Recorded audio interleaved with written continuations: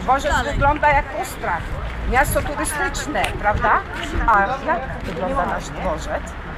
A macie jakieś duże zakłady pracy? Nie ma. Jakie prace? Jedyny zakład, który mieliśmy Morliny, gdzie Morliny. zwolnione ponad 200 osób. Tak. I nie ma żadnego dużego zakładu pracy. Nic nie jest zbudowane, żadne zakłady pracy, tylko tak jak mówimy, hotele, kościoły i nic poza tym. I I restauracje. Żeby było się gdzie przespać, wypić, turyści przyjadą i pieniądze zgarnąć. Sobie do kieszeni. A ja, a ja. Tak naprawdę Bo dla ludzi nie ma nic. Nie ma dla nas. My, a, miasto nawet od dłuższego czasu nie ma porządnych imprez organizowanych, bo miasto na to nie ma.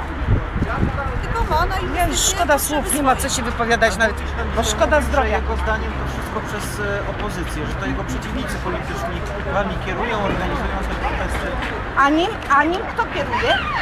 No, a nim kto kieruje?